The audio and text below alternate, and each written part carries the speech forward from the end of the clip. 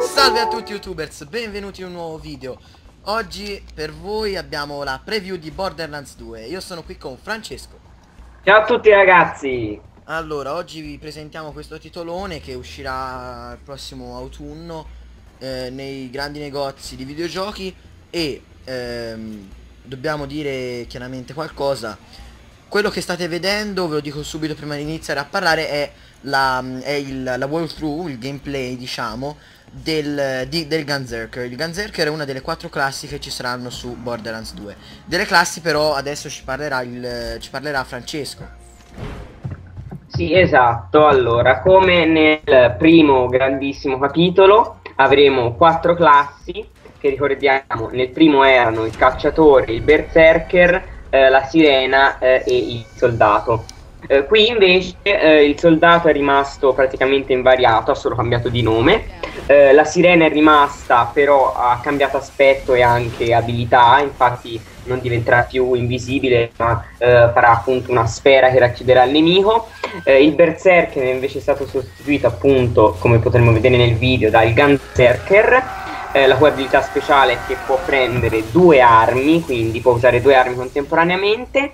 Ehm, e poi abbiamo eh, il nuovo diciamo cacciatore eh, che in questo caso è Zero che è questa specie di robot con questa, con questa spada molto interessante e queste erano le quattro classi Perfetto, quindi abbiamo le quattro classi che ritornano Ritornano come nel primo, diciamo che il, la tipologia di classe è la stessa cioè Abbiamo la sirena, il, il badass come chiamato in questo gioco Cioè quello che fa i culi a tutti, cioè sarebbe il Gunzerker basato sulla potenza distruttiva e di fuoco. Poi abbiamo il soldato che sarebbe Axton, che avrà l'abilità chiaramente, ma Francesco di eh, lanciare le torrette e, e poi abbiamo, la, la, l'abbiamo Zero che è questo assassino che è una specie di cacciatore che è specializzato nel combattimento a, con la spada e, e in, a distanza con il fucile da cecchino. In questa missione che questa missione del, di questo gameplay si chiama Safe and Sound e quello che ve lo dico subito quello che devono fare i nostri, i nostri eroi sono quello di andare a trovare una safe cioè un, una cassa contenente delle foto di Mad Moxie un personaggio che ricordiamo che eh, era presente in, in, un DLC di Borderlands il primo capitolo che si chiamava Mad Moxie's Underdome Riot e era un, eh, era un DLC in cui eravamo in un'arena e c'era questa Mad Moxie che ci dava le missioni quindi i protagonisti anche del primo capitolo torneranno in questo secondo. Per esempio abbiamo visto Mordecai che ritorna con Bloodwing, chiaramente non giocabile ma solamente per darci missioni come, come eh, eh, NPG. Esatto, ci saranno anche dei cameo dei vecchi personaggi cameo. che fa sempre piacere. Cameo, cameo alle torte.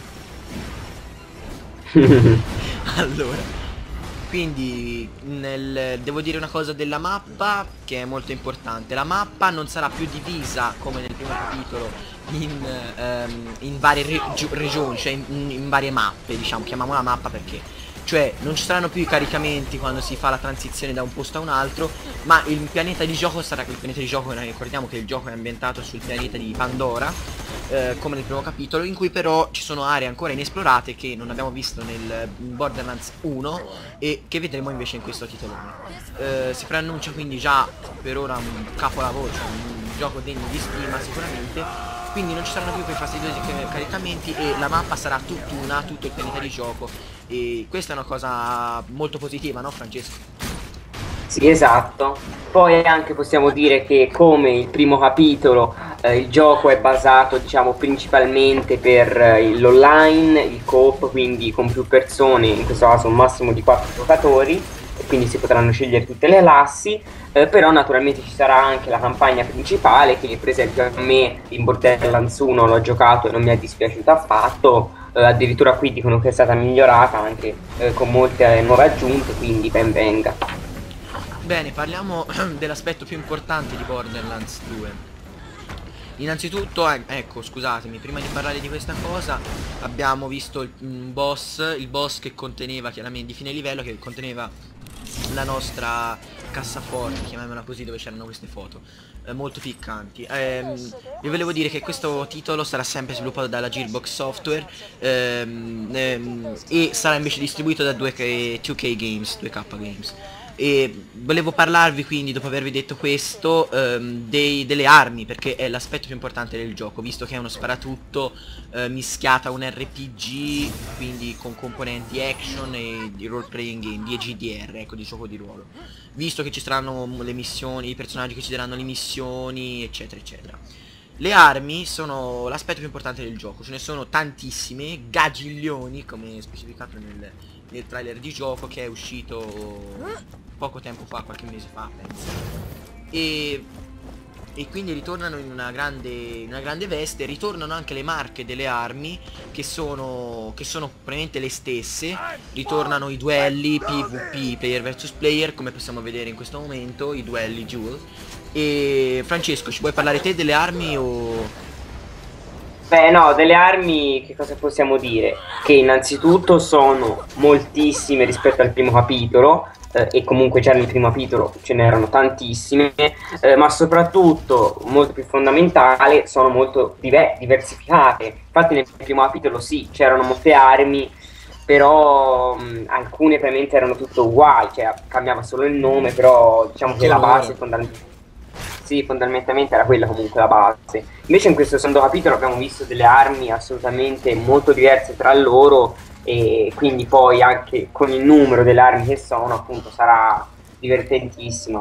Chiaramente non è stato fatto sicuramente un grande lavoro perché vi, vi spiego Le armi in Borderlands sono così tante perché c'è un generatore casuale che eh, praticamente ne- nel primo, questo parla del primo capitolo eh, Anche nel secondo c'è, ecco abbiamo sentito la, la solita frase badass che ripetono sempre Perché in questo gioco il concetto di badass che sarebbe tipo nemici potenti è molto frequente. Ora questo solo per dirvi Continuo a parlare dell'argomento di cui vi stavo parlando.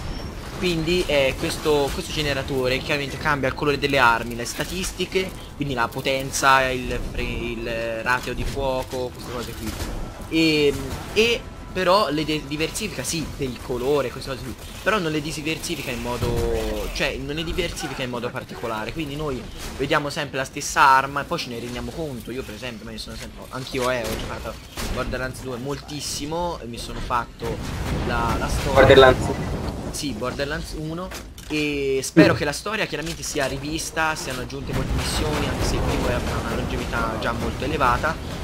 E le armi chiaramente, come ha detto il nostro Francesco, devono assolutamente obbligatorio essere riviste, essere chiaramente aggiunte, cosa che è già stata detta. Se avete vis partecipato, cioè visto più che altro le tre, eh, nella presentazione di Borderlands 2 con il CEO di Gearbox Software, avrete sicuramente visto che ha vinto il Guinness World, Pre- eh, Guinness World Record ehm, per il numero di armi maggiore in un videogioco.